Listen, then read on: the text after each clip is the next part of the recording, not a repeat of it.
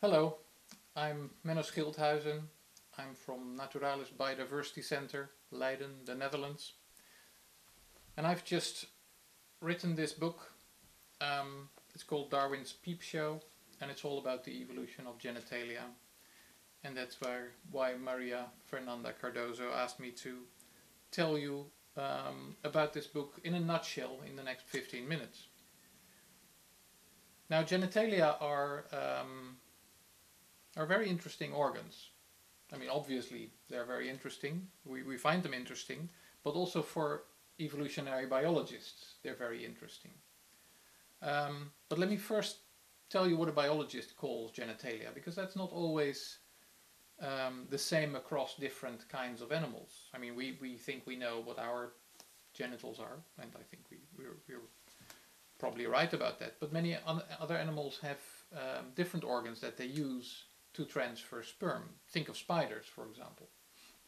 Spiders, um, male spiders, have little boxing glove like hands on either side of their head, and when they want to, to mate, they um, they make a little a little miniature web, and they deposit a droplet of sperm in the web from their from their regular genital opening, and then they use these little boxing gloves to suck up the sperm from that sperm web, it's actually called a sperm web, and then first with one and then with the other one, and then with these two boxing gloves filled with sperm, they start looking for a female spider, and then when they meet a female spider, they push this boxing glove underneath her and squirt the sperm into her, and then with the other the other boxing glove. So um, a spider doesn't use a male spider doesn't use its regular genitals to to inseminate a female. It uses these these hand-like things on both sides of its head. And velvet worms uh, are another example. Velvet worms are very, very peculiar um, animals. They look a bit like very soft millipedes, like millipedes in romper suits. Basically, that's what they look like. Um, and many of them live in the Australian rainforest.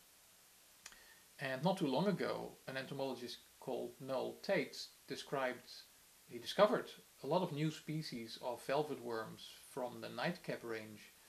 Um, and he found that the males in these velvet worms all had very strange shapes on their heads. They had spikes and prongs, and there was a species that had sort of a flower-like arrangement on its head. And he didn't know what they did with these structures on their head until he found a pair of them mating.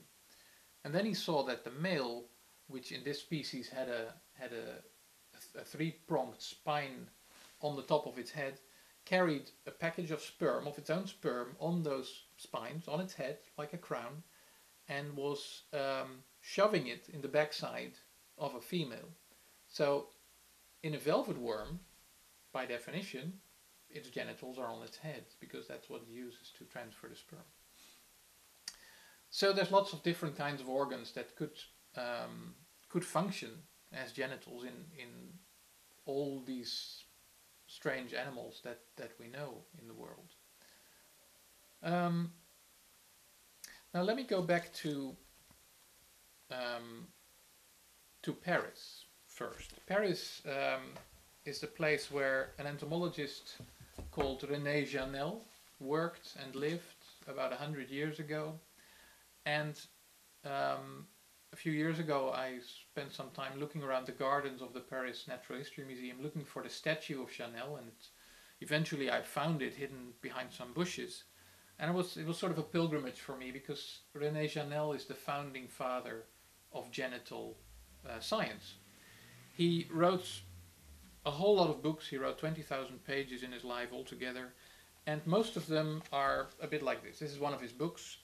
Uh, this one is about a group of a family of beetles, and you show you see all these pictures of rows and rows of beetle penises. That's what these are, and they all look different. If you look closely, you see that every shape of every species is is very different from the next species. So in these beetles, the genitalia, the penises of these males, are a better way to distinguish the species than the rest of the body is. Uh, and Jeannel was one of the first people to really um, to really understand that. Um, now, what does that mean? It means that evolution works the fastest in these genital organs. Evolution of genitalia is much faster, it's much more rapid, it's much more wildly diversifying than evolution in legs or in livers or in, in antennae of these beetles because they are pretty much all the same between species, but the genitalia are different. Um, now, since Jeannel, a lot of taxonomists, and taxonomists are the, the kind of biologists who classify species and who look for differences between species and who discover new species, they have been using these genitalia to, um, to distinguish species and to recognize them. So they've known that there are these big differences between species, but they've never really wondered about why this would be. What is the reason that evolution is so fast and so strong in, in these genitalia? Until, um, that is, uh, Bill Eberhard, an American biologist in 1985, so not that long ago, um, published a book called Sexual Selection and Animal Genitalia. And in it, he, he pointed out for evolutionary biologists that these taxonomists, these people who have been describing all these species, had discovered something really interesting. That apparently, if we want to, to understand sexual selection and evolu sexual evolution, we should really look at those genitalia of all these all these obscure animals that taxonomists have been have been discovering and describing. And he said, well, if you're looking at these these identification books with all these plates full of differently shaped genitals, it's basically uh, similar to what you're what you see when you look at um, at a bird guide, for example. Here is um, a field guide of uh, birds from Malaysia, and you see all these flycatchers and all the males. These are all the males with these blue, colorful patterns, and the, the, the color patterns of every species is different in the males, but the females are all sort of a drabbish brown. They all look pretty much the same. Um, and if you're looking at uh, grasshoppers, the males produce songs with their with their legs by rubbing them against the wings. And if you're if you're buying a, this is a, a book that describes all the grasshoppers from uh, from the Netherlands, and for some species you see, or for some kinds of grasshoppers, you see all these rows of sonograms, which are little little diagrams that show what sort of song this species makes, and you see that all these different species of grasshopper make different songs. And since Darwin's book, um, The Descent of Man and Selection in Relation to Sex, we know that this is the, the result of sexual selection.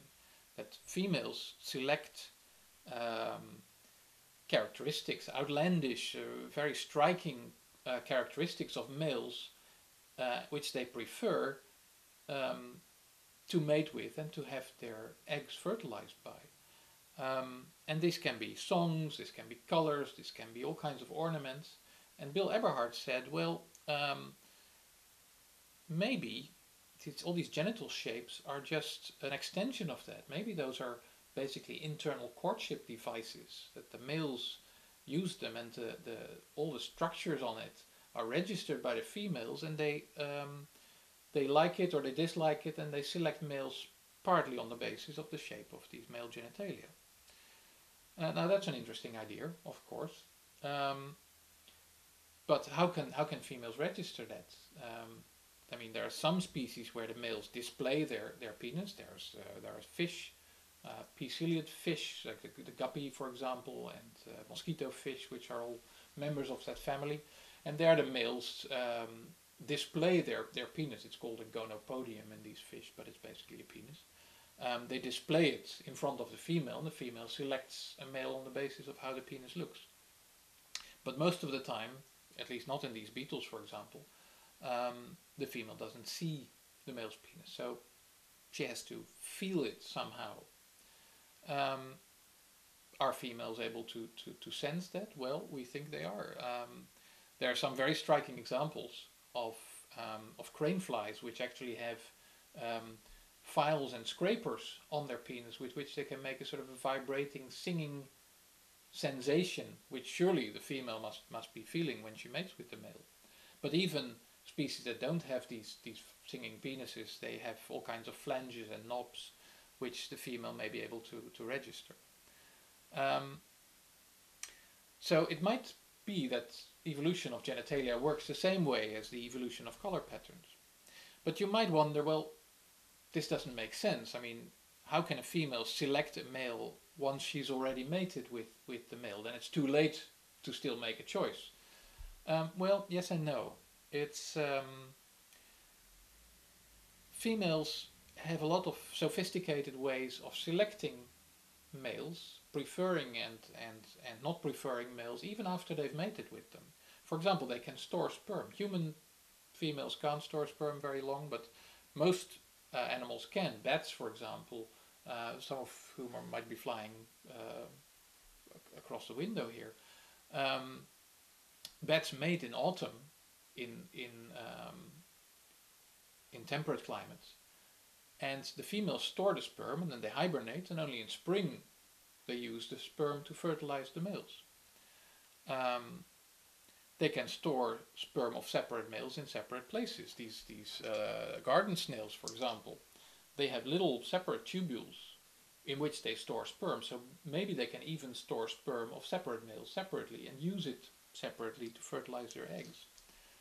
Um, and then there are lots of internal locks and valves, for example. Um, in pigs, uh, this this thing here, which you may have seen in the background already, is a is a um, an instrument that is used for artificial insemination in pigs. Um, now, initially, they, this corkscrew tip wasn't in it. The early versions of this were simply a long pipette, which they used to squirt sperm into a, a female pig um, to artificially inseminate it. But they figured out that it didn't often didn't work very well until they put this corkscrew on it, and this is the exact shape that the penis of a, a male pig has, of a boar, and then suddenly uh, the fertilization rate increased. Apparently, the females like this corkscrew shape, uh, and they have sort of internal mechanisms to then use sperm that came from a corkscrew shaped um, artificial inseminator. So um, those are those are different mechanisms that females have to select sperm of different males, and and even if they didn't have that, then they still have the option of uh, selective abortion. Um, it's known that in in mice, for example, uh, there is a phenomenon uh, known as uh, the Bruce effect. Now, for Australians, this may um, sound as if females select against the kind of males who are named Bruce, but in fact, it's named after um, a zoologist, uh, Martha Bruce, who um, who discovered this in the 1950s. She found that um, females sometimes abort all her embryos um, at will when they meet uh, a male that's even better than the male that that uh, fathered those embryos. So even with uh, autonomous abortion, they can select between males. Um, now, this whole system of of females selecting uh, genitalia, shapes of males uh, in different ways is called cryptic female choice. Um, cryptic because you can't see it on the outside, it all happens inside the female. But there's a twist. Um, and the twist is that, um, for example, in many of these beetles, you see that there are not just flanges on the, on the penis, there's actually spines. There's very hard and sharp needles on it, which surely can't be feeling very nice. People have suggested that maybe this is some sort of stimulation for the female, but well, you'd be hard pressed to to imagine a female that actually likes that sort of stimulation. And um, Göran Arnqvist, uh, a Swedish entomologist, discovered what they're for. He used uh, bean weevils, which are little seed beetles that feed on seeds, um, and he fed the males radioactive beans. Now the radioactivity ended up in its body and also in the semen, that the, the sperm that uh, that um, the weevil produced, and when it then mated with a female, he could figure out that the radioactivity didn't just end up in the vagina of the female, it also ended up in the bloodstream of the female. Um, and then he did a very clever trick. He he, he uh, used a laser to burn off those spines that these bean weevils have on their penis, and then replicated the experiment and he found out that the radioactivity doesn't go into the blood of the female. So apparently these spines actually puncture the skin of the, the internal skin of the vagina so that the semen leaches into the, the bloodstream of the female. Now we know, we think we know why this is because in many insects semen is not just liquid with sperm, it's liquid with sperm and hundreds of different proteins. Uh, and you can see actually if you, if you make a, a molecular biology gel and you see all these bands, you see that there are hundreds of different kinds of proteins in semen which all seem to be doing something. And we know from experiments in, in fruit flies that what they do is they, they do some sort of um, chemical warfare on the female psychology. Uh, some of these proteins actually are anti-aphrodisiacs. They um, they act on the on the banana fly's brain to um, to prevent her from mating again. So they reduce her sex drive uh, so that she doesn't mate again. And of course, that's good for the male that has produced those proteins. So uh, she gets to fertilize all her eggs with his sperm. Um, and there are other other ways in which the genitalia can do things of the genitalia of the male can do things that are not so nice for the female. And this is not called cryptic female choice. This is called sexually antagonistic co-evolution.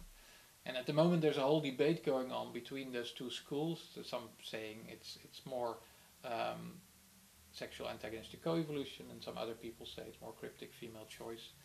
Um, it looks like both things are going on, and in fact, what you see in these in these books is where you have this whole diversity is just uh, the end result of a sort of evolutionary tango where um, both of these kinds of evolution take place. And well we humans are just one little twinkle in an in a whole universe of constellations of possibilities in the evolution of genitalia and and that's I think why biologists are so fascinated by them